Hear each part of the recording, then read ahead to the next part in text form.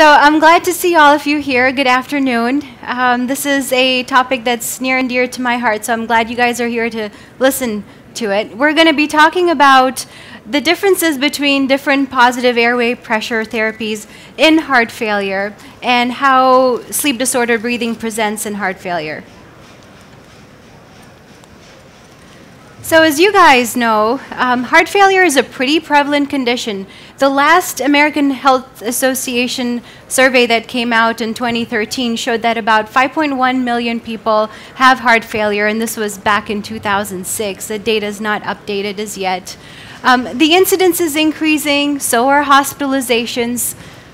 And to try and differentiate between heart failure with preserved ejection fraction and reduced ejection fraction, so about 40 to 60% of patients have heart failure with preserved ejection fraction, and the others have heart failure with reduced ejection fraction.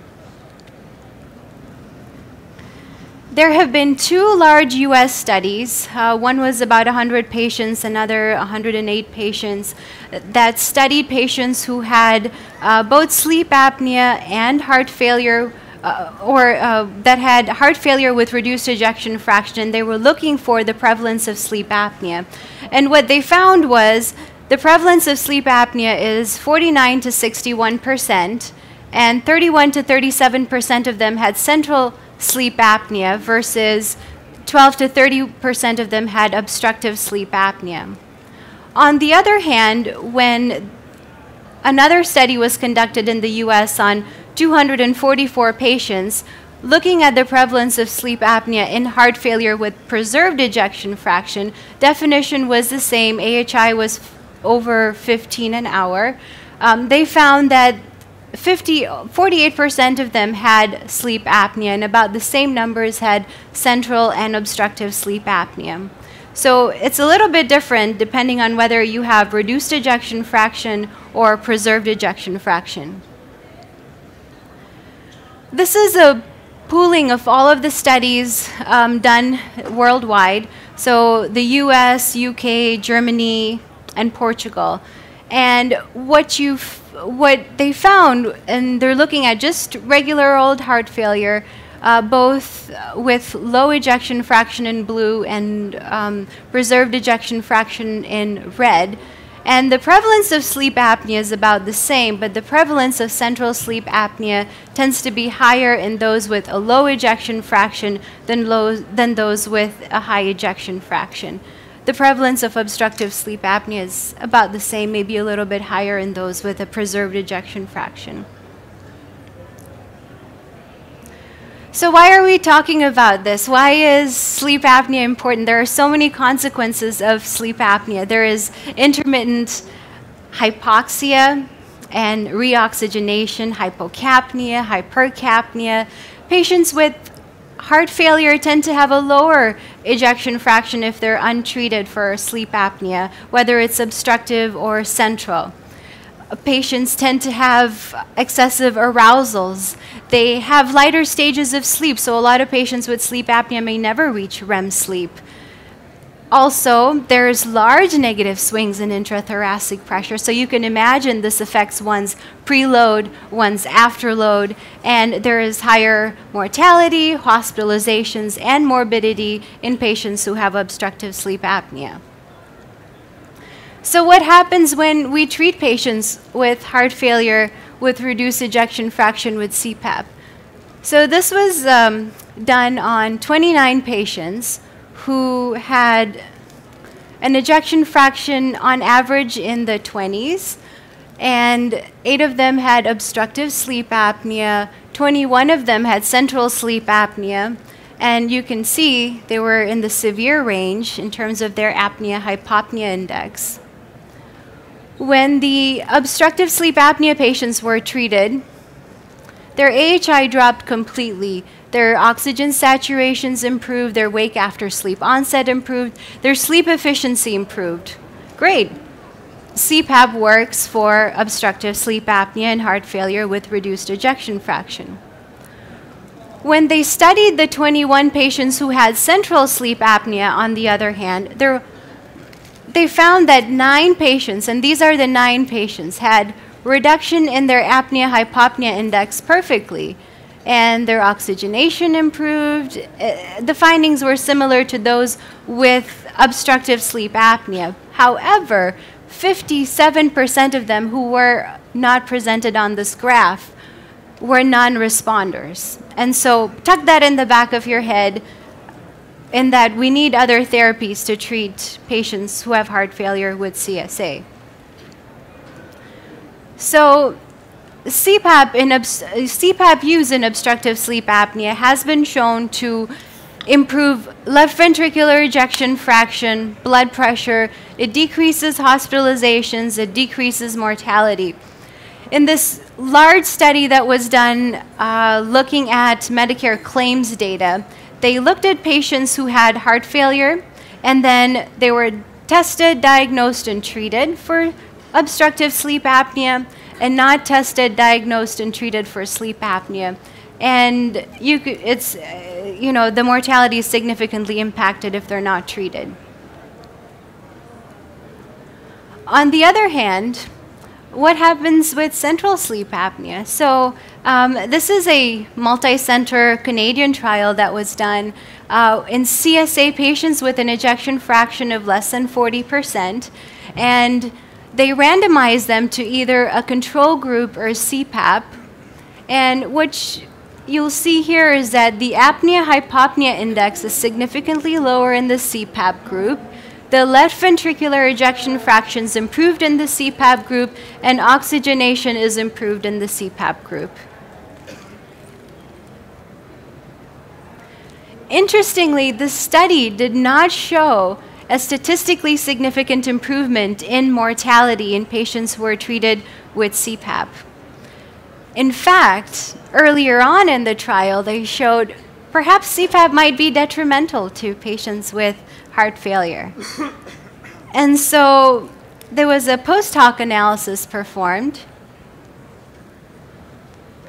in this study, and they subcategorized those patients into, well, they had central sleep apnea and they were randomized to CPAP, but was their AHI actually under control? And so when and so they they found that the control group was about the same, the patients who had um, prescribed CPAP, there was about a half of them had their AHI suppressed. However, 47% of them had their AHI unsuppressed. And when they accounted for this difference, they had statistically significant improvement in mortality in patients who had central sleep apnea with reduced ejection fraction who are treated on, adequately treated on CPAP. So it works as long as we get that AHI under control. And then they looked at the same thing with left ventricular ejection fraction, and, and if, the if the AHI was suppressed, then the ejection fraction was also improved. And so there comes the question of we need to get this AHI under control, and maybe it doesn't work for central sleep apnea in patients with CPAP. And so that's where adaptive servoventilation comes into place.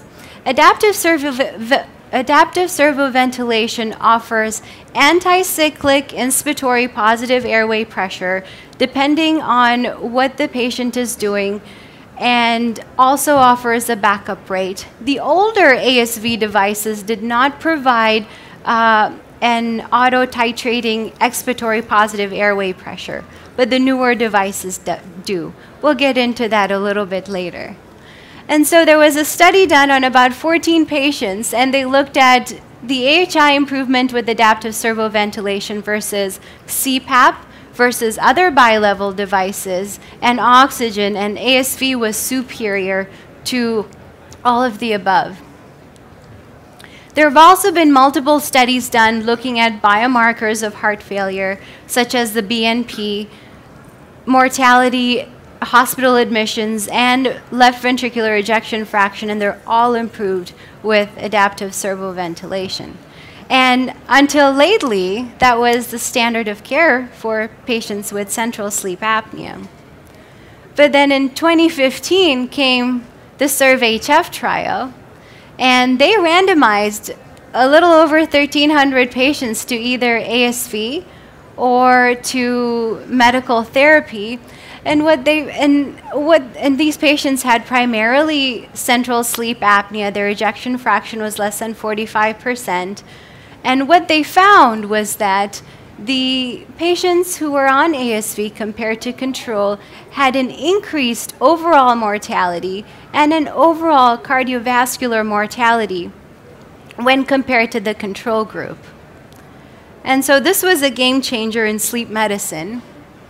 And since then, adaptive servoventilation is contraindicated in patients with an ejection fraction less than 40, less or equal to 45%. Now, there were several issues with the SERVE-HF trial. It was an old device. Uh, they used the Auto CS device which does not have a variable EPAP. So you can imagine if you don't have a variable EPAP, the only thing the ASV device can do is go up on the IPAP to treat an obstruction. If you're going up on the IPAP to treat an obstruction, you're going to overventilate the patient. And if you overventilate the patient, you may cause hypocapnia. If you cause hypocapnia, you may cause hypokalemia. If you cause hypokalemia, there is a possibility that you might trigger arrhythmias. And so um, there were other issues with the study. The residual AHI varied between patients.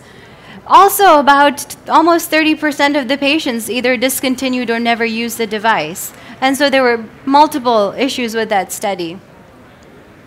So our lab did a study and tried to figure out whether is this a class effect of all adaptive servo ventilators or is it a device effect? And so what we did is we randomized about 14 patients with ejection fraction over 40% and complex sleep apnea to four nights of polysomnography. And each of those nights, they were randomized to a different device. And those devices included the ResMed S7, the ResMed S9, the Philips Respironics System 1, and the Philips Respironics DreamStation. And the settings were standard and were consistent for all of the devices. We excluded patients with other sleep disorders that were untreated. And what we found is that, so this is uh, minute ventilation, respiratory rate times tidal volume on the y-axis. And this is the S7 device. There was a statistically significant increase in minute ventilation during wake in patients with the S7 device. And if you looked at the overall night summary in terms of minute ventilation, it was much higher with the S7 device when compared to the other devices. We also noticed that these patients had the S7 compared to the S9 had a higher respiratory rate, and they were also providing higher pressure support. So maybe it's not class specific, but it's device specific. And so we've, we've just talked about this in that hypocapnia can lead to hypokalemia, which can lead to QT interval changes on the ECG. This is a well-known pathway, and it's been shown in, uh, in other studies, not sleep apnea related. And so we looked at our patients and we, we were trying to figure out, well, our QTs, given that S, the S7 seems to be overventilating the patients. Does it have any impact on the QTC in these patients? So the QT interval corrected for heart rate was not different for the S7 device, even though um, the overall averages were higher for the S7 device, and we'll, we'll go through that in just a minute. But you can imagine, would this be amplified in someone with heart failure? The heart failure patients are on loop diuretics. They already have metabolic alkalosis at baseline. They may be hypokalemic at baseline as a, a, a part of being on the loop diuretics. And so, are they more susceptible to this? That question is still open to be answered the S7 device, the patients did have more premature ventricular contractions. That wasn't statistically significant. We also show we also saw a few more events of non-sustained ventricular tachycardia in patients with the S7 device. And on one night, one of the System 1 patients also had a non-sustained ventricular tachycardia episode. None of this was statistically significant. Our study was very small. And so this is a summary. We've talked about most of this. If you and it's it's showing average averages and standard deviations. And if you just glance at it, you'll notice that the awake the awake tidal volumes are higher for the S7 device. And the other things that we haven't talked about is that uh, oh the so the awake volumes are higher for the S7 device, and you'll also see that the S7 device QT intervals tends to hang out more so in the 400 millisecond range versus the other ones in the 300 millisecond range. Again, it wasn't statistically significant.